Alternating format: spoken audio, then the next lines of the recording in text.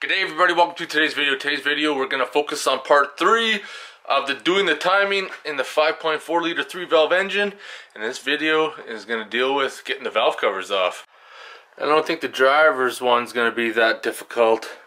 This passenger one, however, without disconnecting the AC line, may give us some issues. I still may remove the battery tray and that way I can loosen the AC on the side there, give it some wiggle room. We're gonna have to find out once we get there. So let's focus on the driver's side.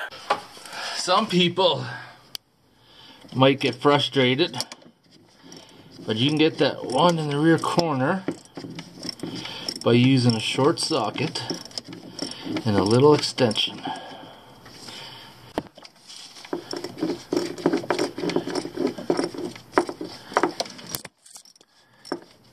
back ones I did by hand.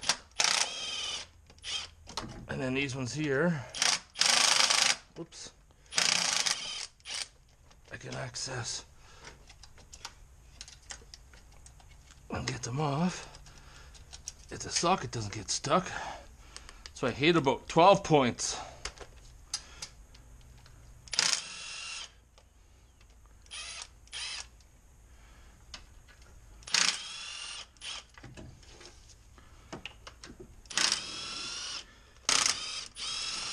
That's right. Who is your daddy? Come on.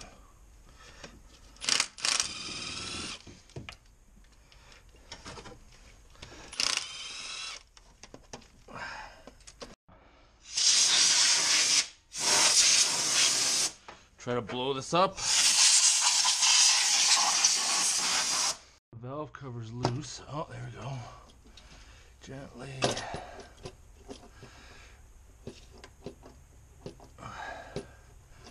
Something holding her on still.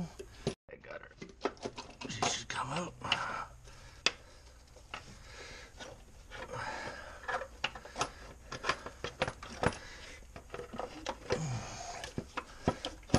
Okay, what are we sticking on? Oil dipstick tube.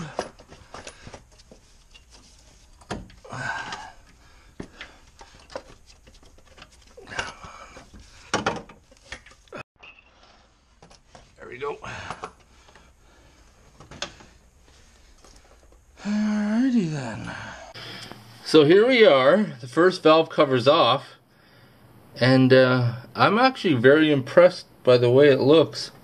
Um, I was expecting it to be a whole lot worse. This chain is still pretty tight. I'm not seeing any broken guides. This VCT solenoid I'm going to pull out to have a look at the screen. Like all the cam lobes are looking pretty good. Doesn't seem to be any scoring. Not bad. That's kind of a relief. Genuine Ford phaser. VCT solenoid is held in place by T27.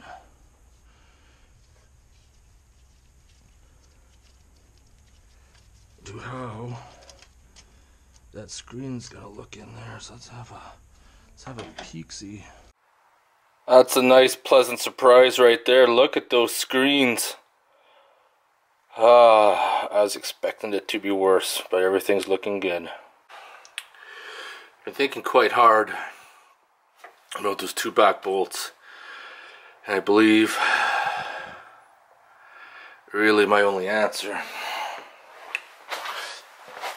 is to pull the skirt out, fender skirt, so I could get at them a little bit easier. Thought about it. I figure moving the battery tray might be easier to get at the bolts for the valve cover. I am not sure if that's going to be the case or not. We're going to find out. Put the bolts right there for now.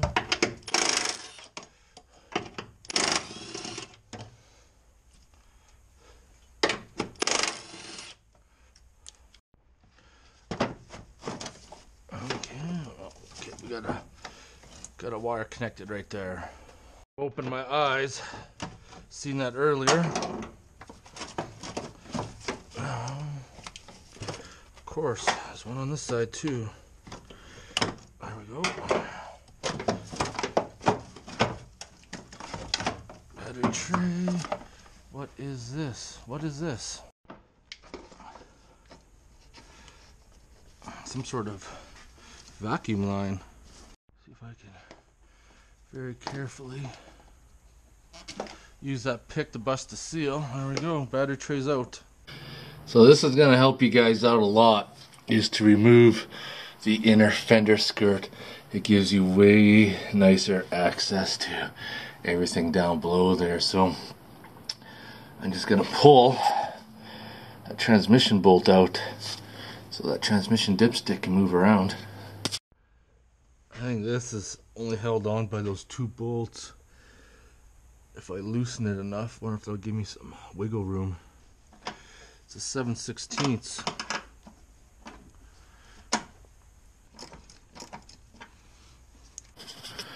Alright, before I start removing the valve cover, I need to remove the VCT solenoid.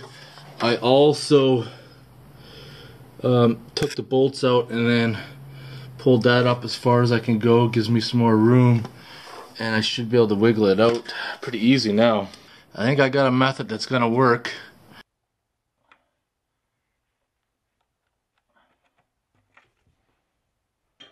Good, went from underneath, got her out. We're gonna gently pull on it at the same time. There we go, threads are loose. There we are, we're out.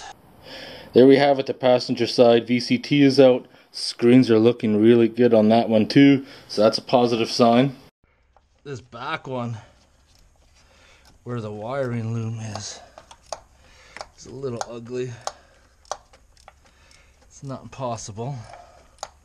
Oh yeah, this makes it way easier. And most of these ones up top, I just use the gun.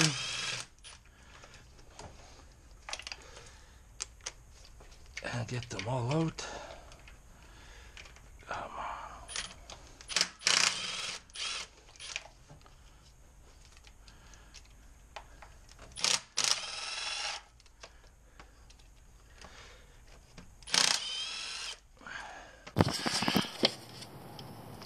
And all the ones underneath I can get. I don't have a little small power ratchet unfortunately so that's going to uh, add some time onto this job for sure. Just get all these ones loose. Having a ratchet wrench definitely makes things a little bit easier.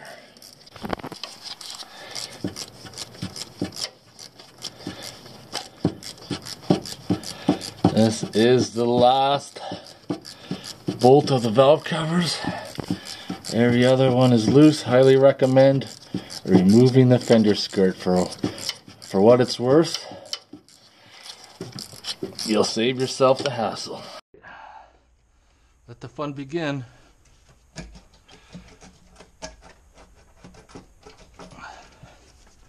See if we can pull this thing out of here. Wow, it seems to be holding me in. Come on. I just gotta get it up enough. Come to daddy. I, I think I, I think I might have the keys to the kingdom. Come on. I know. I know, baby. Something different. I'm just pulling all the bolts out of the valve cover because those bolts are what can hang up and it's all the space I need. Okay, pulled all the bolts out. Let's try this again.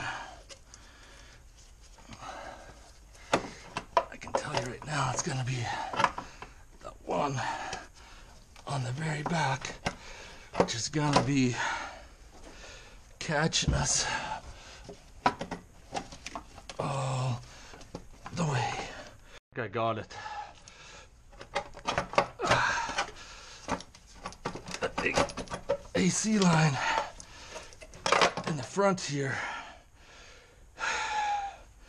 She's the culprit right there, this sucker. Whew.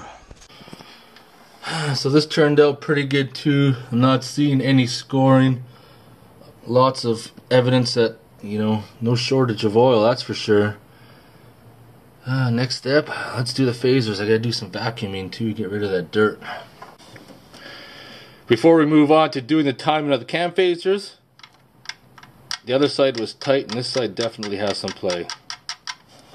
Well, what do you guys think? Removing the driver's side valve cover was definitely a lot easier than removing the passenger side valve cover.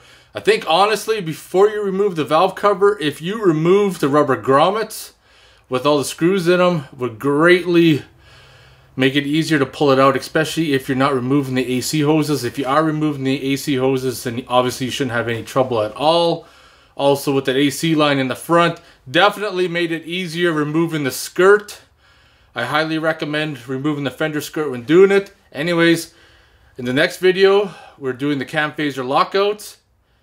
And be sure to watch that one. Something interesting happens. Anyways, I'll talk to you guys later.